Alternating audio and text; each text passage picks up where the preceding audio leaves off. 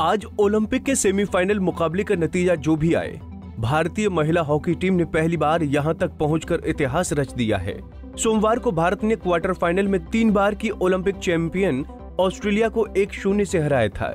इस शानदार जीत के बाद भारतीय महिला टीम को सोशल मीडिया पर बधाई देने के संदेश मिलने लगे। खास बात ये रही कि बहुत सारे फैंस कोच शोड मारिन की तुलना फ़िल्म चक दे इंडिया में शाहरुख खान के निभाए किरदार कोच कबीर खान से कह रहे थे।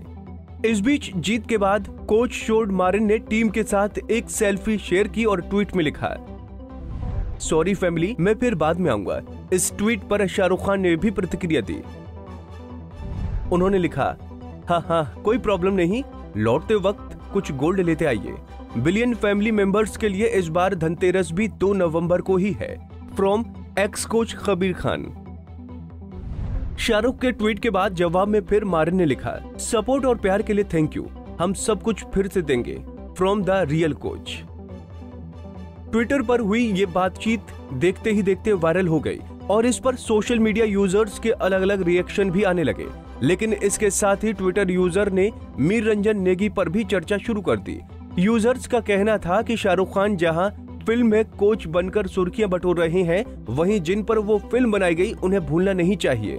दरअसल चक दे इंडिया फ़िल्म को भारत के पूर्व हॉकी खिलाड़ी मीर रंजन नेगी से इंस्पायर बताया जाता है। इस फ़िल्म की कहानी को बॉलीवुड के स्क्रीन राइटर जयदीप साहनी ने लिखा है। फ़िल्म में कबीर पर जिस तरह से झूठे आरोप लगे, कुछ वैसे ही असल में हॉकी प्लेयर मीर रंजन नेगी के साथ भी उन्नीस सौ बयासी के एशियाई खेलों में हुआ था। नेगी पाकिस्तान के खिलाफ फाइनल मैच में भारतीय हॉकी टीम के गोलकीपर थे, जिसमें भारत को सात एक से हार का सामना करना पड़ा।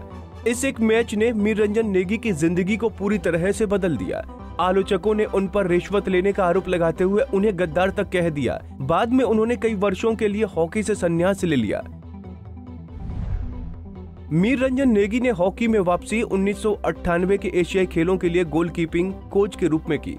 जिसमें भारत की राष्ट्रीय हॉकी टीम ने गोल्ड मेडल जीता। इसके चार साल बाद नेगी को भारत की महिला राष्ट्रीय हॉकी टीम के गोलकीपिंग कोच के रूप में नियुक्त किया गया।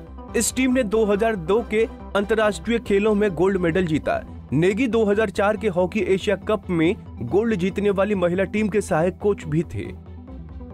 बता दें कि चक दे इंडिया फ़िल्म में वो सलाहकार थे और छोटे से रोल में खुद भी नज़र आए।